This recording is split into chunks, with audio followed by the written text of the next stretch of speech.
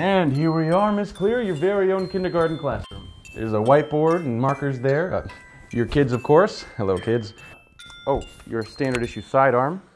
You got the rice box here and. Uh, I'm sorry, um, sidearm?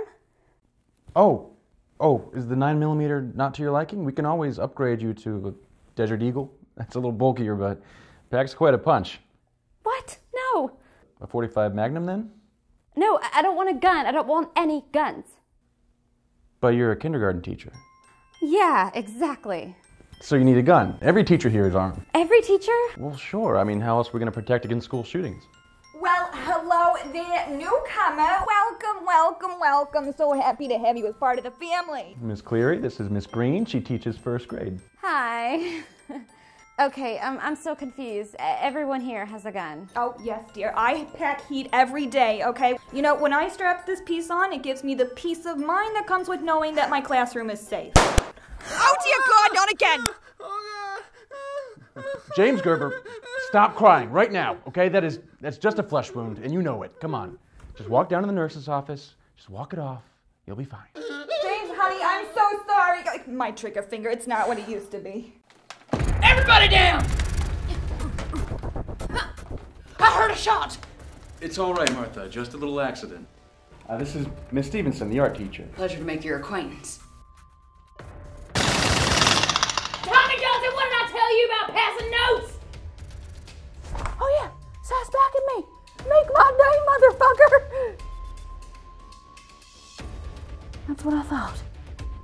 Dear Lord, what are you doing? Uh, that's just how it's done here, Miss Cleary. Yeah, once we armed ourselves, we naturally found the students to be much more compliant. There's been a shift of power. It's the time of the teachers now.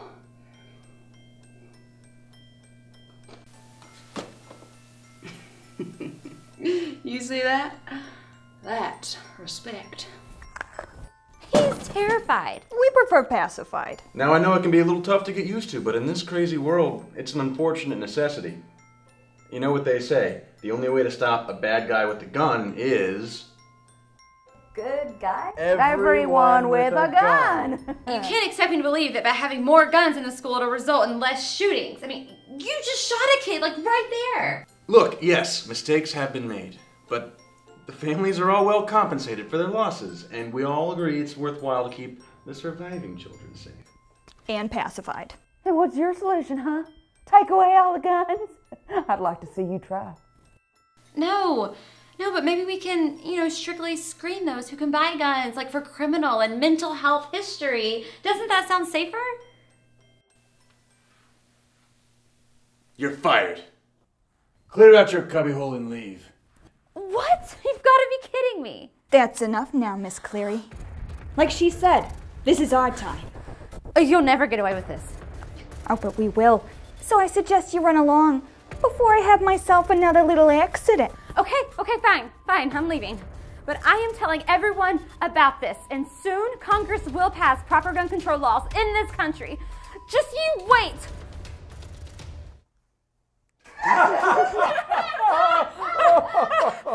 Oh, that poor fool. so pitiful. It's so naive. Uh, y'all, I've got it from here. All right. All right, listen up. One peep out of any one of you, and we'll be finger painting with your brains for the next four weeks. Now, who wants to make macaroni art?